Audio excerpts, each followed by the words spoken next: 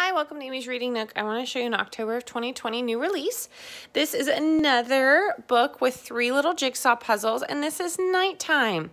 This matches along with the theme of our other nighttime books in the coloring. It's really beautiful, um, these bright colors, and these are the really cute puzzles that only have nine pieces.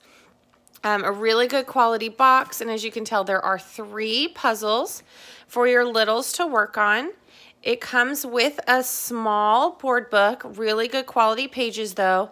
And then on the inside of every page, there is a seek and find question.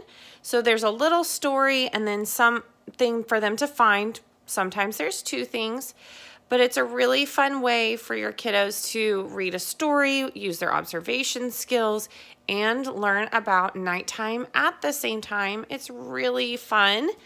And then again, there are three puzzles. Aren't these just the most cute puzzles?